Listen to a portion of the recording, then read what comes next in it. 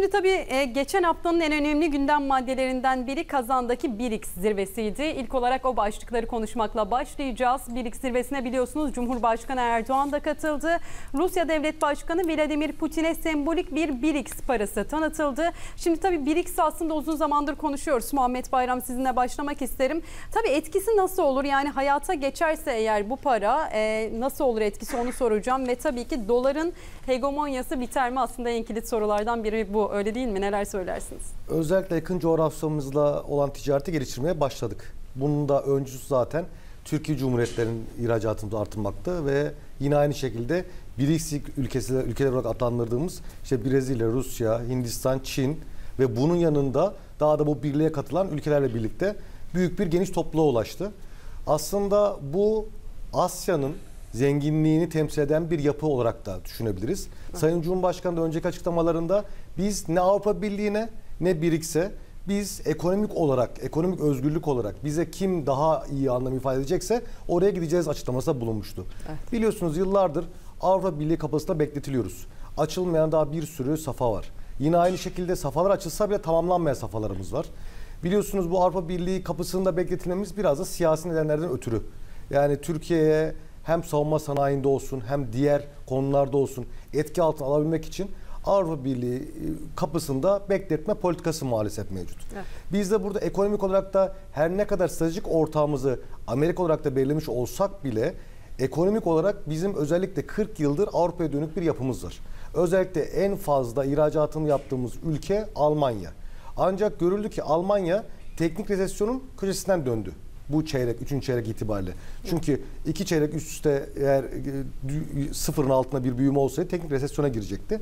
Ve Almanya beklenenin fazlasında yüzde ikilik, ikiden daha fazla bir enflasyona karşı karşıya geldi. Yüzde 2.4. Yani Avrupa'nın kötü olduğu bir dönemle birlikte bizim yönümüzü daha fazla BRICS ülkelerine, Orta Doğu'ya, Orta Asya kaydırma düşüncemiz var. Tabi burada e, özellikle BRICS ülkelerinin başı aktörleri diyelim Rusya ve Çin büyük bir iğmelenme e, peşinde. Yani burada Rusya'yı bir kenara bırakacak olursak özellikle Çin'in artık Made in China yazısının kendilerine olmaması için yani üretimin Çin'de üret olduğundan dolayı Avrupa Birliği ülkelerinin almama durumu var biliyorsunuz. Evet. Çin'in artık farklı bir politika güttüğünü görüyoruz. Bu da yatırımcılarını başka ülkelere kaydırarak buralardan üretim yapıp Made in China değil mesela Made in Türkiye Türkiye yazıp Avrupa'ya ihracat yapma e, bir strateji ve politikası var. Biliyorsunuz son dönemde BYD markası Türkiye'de bir yatırım kararı aldı. Yine Çinli başka bir marka Chery yanlış hatırlamıyorsam yine Evet. Türkiye'de yatırım kararı aldı. Özellikle yapay zeka alanında e, ciddi e, yatırımlara sahne olacağını göreceğiz ülkemizin. Hem jeopolitik konumu hem enerji arz güvenliğini de sağladığımızdan ötürü Türkiye yatırım noktasında önemli bir hub haline gelecektir. Bununla birlikte BRICS ülkelerinde tabii Çin e, gelişmesi durdurulamayan, önlenemeyen büyük bir güç. Özellikle Amerikan tahvilleri konusunda Amerika'ya da kök söktüren bir ülke. Tabii bununla birlikte Çin e, kendi gücünü de başka ülkelerle birlikte kullanabilirse bir aktör haline gelebilecek. O da ne? Rusya. Şimdi bak bakarsak Rusya'da bir meydan okuma e, sahneledi. Savaşa girmesine rağmen büyümesini sürdüren bir ülke konumunda ve aslında bu meydan okuma evet bir savaş olsa bile ben ekonomi ayakta tutabilirim. Ben kendime yetebilirim. Görüntüsünü verdi. Bu imajı çizdi. Özellikle son e, BRICS zirvesine yanlış hatırlamıyorsam Putin e, Sayın Cumhurbaşkanı'nın buradaki ara bulucu e, vazifesini kabul ettiklerini ve buna ilişkin de Ukrayna'da da oturmaya hazır olduklarını söyledi. Tabi Ukrayna tek başına bu savaşı bitirmeye gücü olmadığı için e, burada tabi bir görüşme müzakere e, konu olacaktır.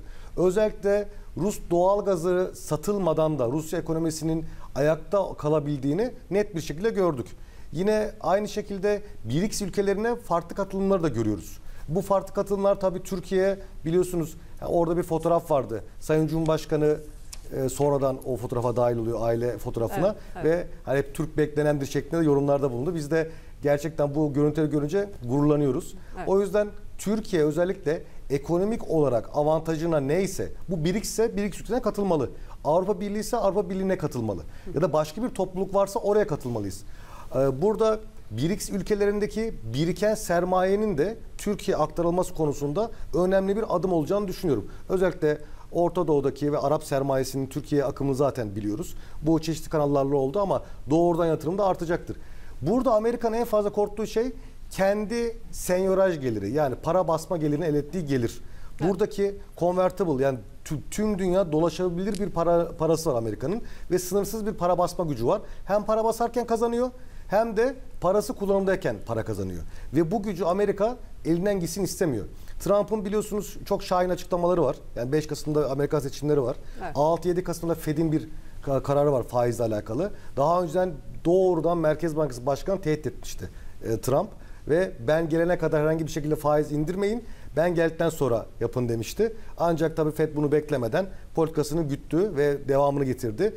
Trump'ın tabii söylemlerine tam bu konunun üzerine eğer ülkeler Amerikan dolarını kullanmaktan vazgeçerlerse kendi Merkez Bankası rezerv para olarak Amerikan dolarını çıkarmaya başlarlarsa ki BRICS ülkeleri işte Putin'e de sembolik olarak tanıtılan para da bunun için aynı Avrupa Birliği'nde euro olduğu gibi BRICS ülkelerine kendi paralarını kullanma ya da kendi milli paranı kullanma gibi bir gayesi var.